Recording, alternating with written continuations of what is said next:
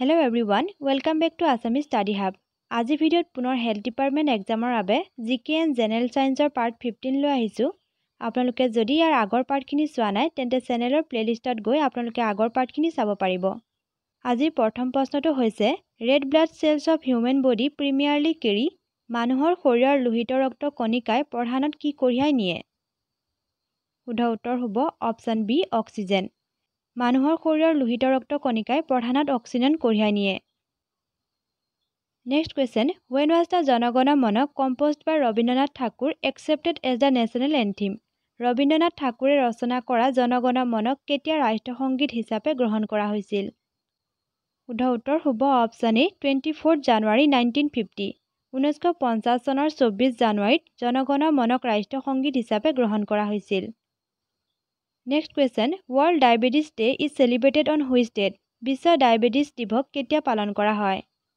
শুদ্ধ উত্তৰ হ'ব অপশ্যন চি ফ'ৰটিন নৱেম্বৰ বিশ্ব ডায়েবেটিছ দিৱস চৈধ্য নৱেম্বৰত পালন কৰা হয়।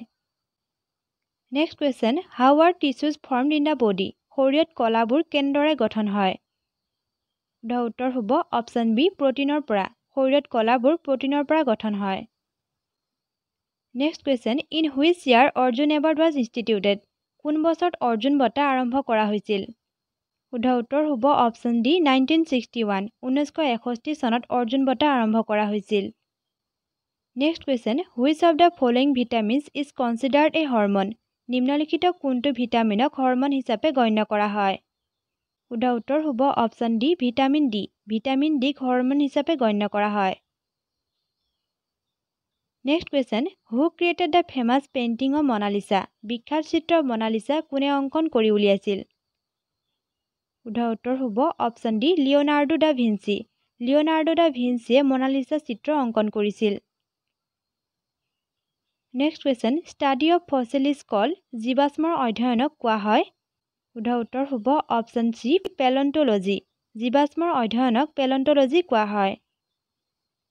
Next question who is known as Napoleon of India ভাৰতৰ নেপলিয়ন নামেৰে কাক জনা যায়? শুদ্ধ উত্তৰ হ'ব অপশ্যন বি সমুদ্ৰগুপ্ত। সমুদ্ৰগুপ্তক ভাৰতৰ নেপলিয়ন নামেৰে জনা যায়।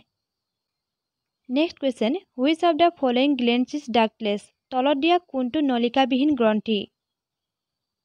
শুদ্ধ উত্তৰ হ'ব অপশ্যন এ থাইৰইড। থাইৰইড নলিকাবিহীন গ্ৰন্থি হয়।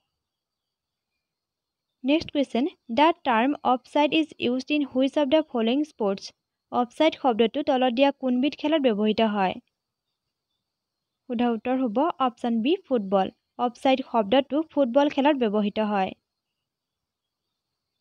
Next question in which vitamin is the amount of cobalt found কোবাল্টৰ পৰিমাণ কোনটো ভিটামিনত পোৱা যায়? শুদ্ধ উত্তৰ হ'ব option C vitamin B twelve কোবাল্টৰ পৰিমাণ ভিটামিন বি টুৱেল্ভত পোৱা যায়। Next question who compose Kumar Sambhav কোনে কুমাৰ সম্ভৱ ৰচনা কৰিছিল? সোধা উত্তৰ হ'ব অপশ্যন বি কালিদাস। কালিদাস দুটা মহাকাব্যিক কবিতা ৰঘুবংশ আৰু কুমাৰ সম্ভৱৰ লেখক হয়। Next question which of the following is produce by plants through photosynthesis সালোক সংশ্লেষণৰ জৰিয়তে উদ্ভিদে নিম্নলিখিত কোনটো প্ৰস্তুত কৰে? শুদ্ধ উত্তৰ হ'ব অপশ্যন এ কাৰ্বহাইড্ৰেট। সালোক সংশ্লেষণৰ জৰিয়তে উদ্ভিদে কাৰ্বহাইড্ৰেট প্ৰস্তুত কৰে। Next question how many teeth develop twice in a person's life span মানুহৰ জীৱনকালত কিমানটা দাঁত দুবাৰ বিকশিত হয়? শুদ্ধ উত্তৰ হ'ব অপশ্যন চি টুৱেণ্টি মানুহৰ জীৱনকালত বিছটা দাঁত দুবাৰ বিকশিত হয়। Next question who fought the battle of Haldighati against the Mughals মোগলৰ বিৰুদ্ধে হলদিঘাটীৰ যুদ্ধ কোনে কৰিছিল? শুদ্ধ উত্তৰ হ'ব অপশ্যন এ মহাৰাণা প্ৰতাপ। পোন্ধৰশ ছয়সত্তৰ খ্ৰীষ্টাব্দত মহাৰাণা প্ৰতাপ আৰু মোগলৰ মাজত হালদিঘাটীৰ যুদ্ধ হৈছিল।